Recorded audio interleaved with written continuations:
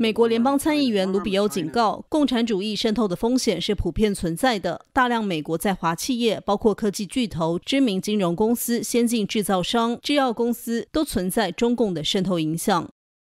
卢比欧称，中共利用其在企业内的组织来影响美国公司的决策，拉拢和消除潜在反对中共政策和权威的因素。为了应对这一情况，卢比欧推出禁止中国共产惊悚党法案，要求企业披露其内部的中共组织的存在，以及这些中共支部是否影响了公司决策。新唐人电视台综合报道。